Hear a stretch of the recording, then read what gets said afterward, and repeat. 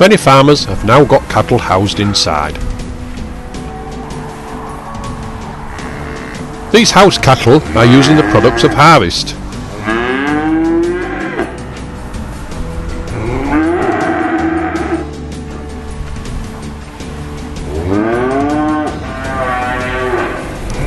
They eat some of the cereals you saw being harvested.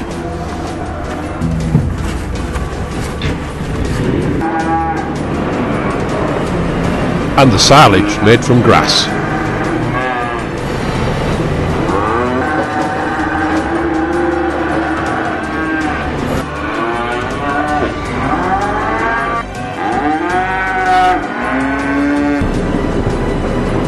and they are bedded up with the bales of cereal straw.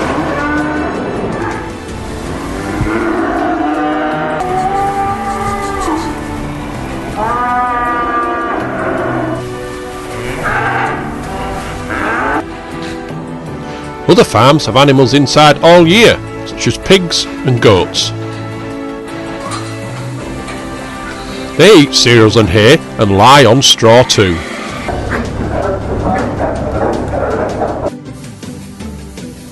But of course, what goes in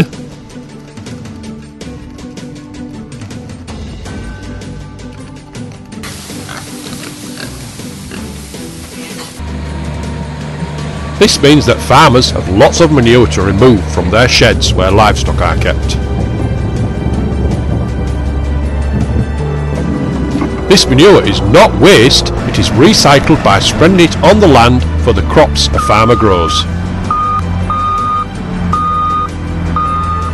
This is a long practiced recycling process at the heart of many farming methods.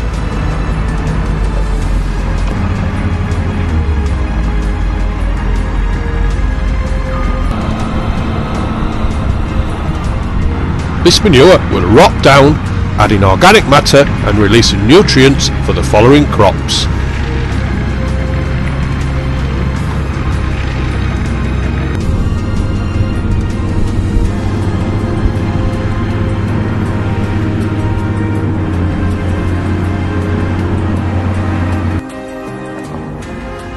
Are you recycling your school garden waste?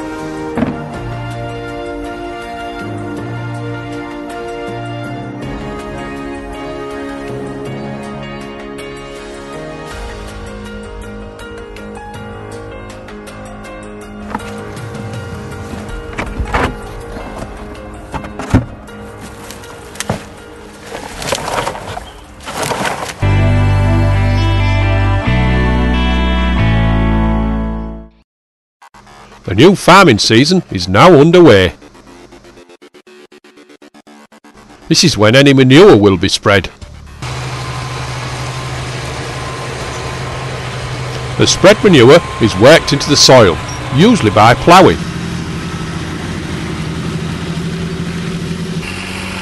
This helps the manure to rot and release its nutrients for the following crop. The land is then worked to break the soil into small lumps called tilth and create the right conditions for seed to germinate and grow.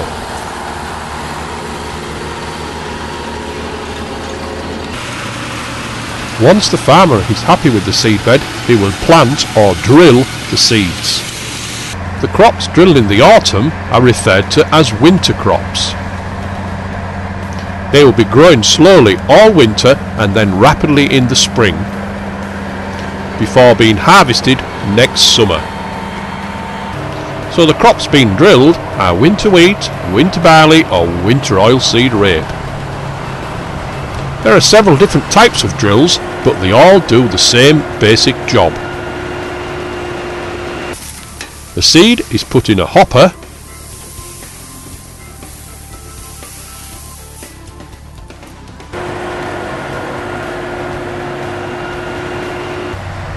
The seed is then passed down these tubes, it's usually blown with air, to be placed in the ground and covered over with soil. Here's the seed being covered over with soil now. Some farmers, to save fuel and improve the soil, are now planting crops using minimal cultivation. Rather than turn the soil over like with a plough, they simply loosen it and plant the seed in one pass. Sometimes the seed bed may be rolled once the crop has been drilled. This helps with the control of pests such as slugs. The leaves of these newly emerged wheat seedlings have been damaged by slugs.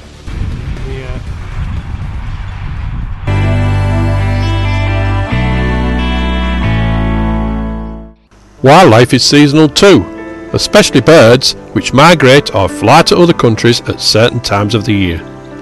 You are probably aware of swallows which visit us in the summer and have young whilst over here.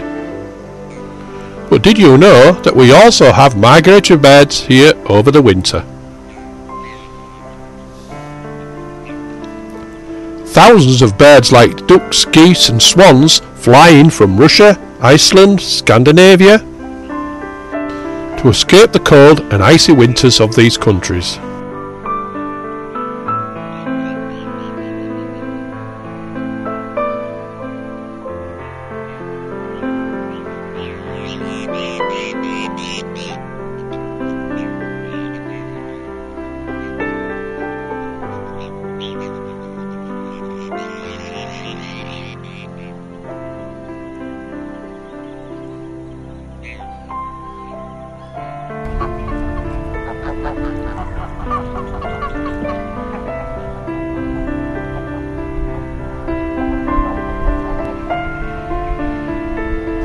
While you may not see these ducks, geese or swans in your school grounds, there are some winter visitors that you could see.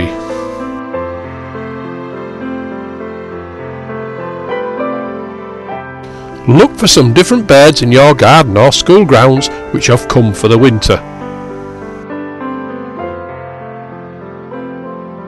Here's some clues for two examples of birds you could see. They are a member of the thrush family, like this mistle thrush or blackbird. They are often seen in large flocks eating berries. Here's their calls to listen out for. One is named after the colour on its wings, and the other after where it gets its food or fare. Try doing a web search for images using the keywords winter visiting thrush.